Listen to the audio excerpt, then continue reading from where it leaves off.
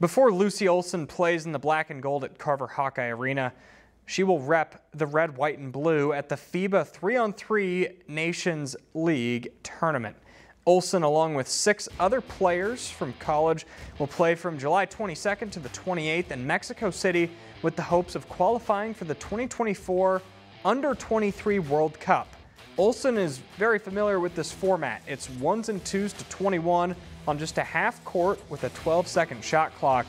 Olsen won the 2023 FIBA Nations League final on the USA under 21 squad.